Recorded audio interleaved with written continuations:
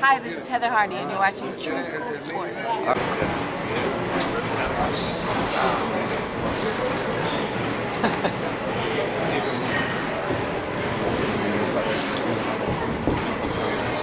Al- Algieri trains out by me too. what?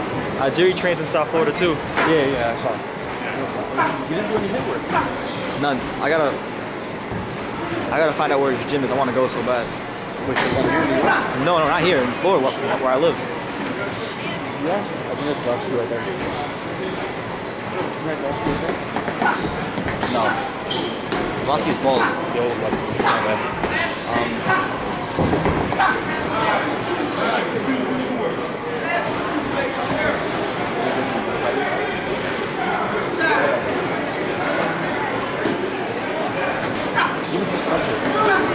Huh? You haven't seen Spencer, right? I have not. What's his name?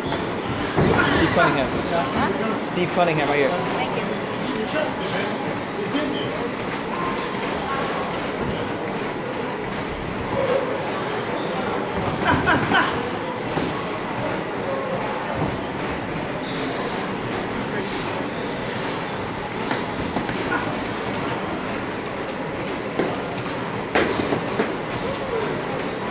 Thank you.